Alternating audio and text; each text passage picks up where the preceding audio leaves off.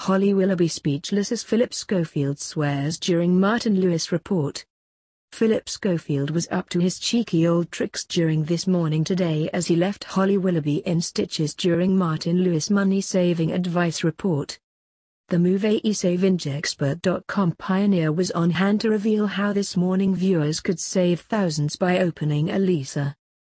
However, Martin Lewis advice went straight over Phillip Schofield's head. The 55-year-old groaned, ISA, Lisa. Schiesser. Naturally, Phillip's sudden outburst caused Holly Willoughby to erupt into a fit of giggles. And she wasn't the only one, as this morning viewers were all in hysterics on Twitter. Lisa dot dot dot dot dot Isa dot dot dot dot might as well be speaking German to me dot dot dot dot dot pretty sure Phil just did, naughty lol, I'd rather just stay poor. Haven't got time to work this out hash this morning, teased one fan. Another chuckled, oh Phil you crack me up at Schofe hash she's a hash this morning hash theschofe. I saw Lisa she's a hash this morning, think you got away with it one Scoey, mused a third. Sis. Um gat Schofe hash this morning, posted one more, which was followed by, sis? A thought echoed by thousands of viewers hash this morning.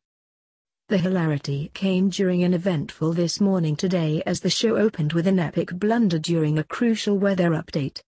As the beast from the east showers snow across the nation, this morning weather reporter Becky Mantin was left aghast without her clicker.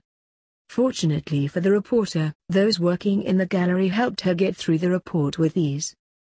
Q, there it is, she exclaimed as the maps changed without issue. I didn't even need a clicker.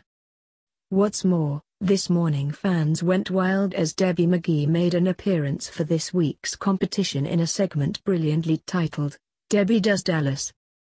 The Strictly Come Dancing star delighted viewers as galloped around a Texas ranch to share details of the £250,000 competition. competition.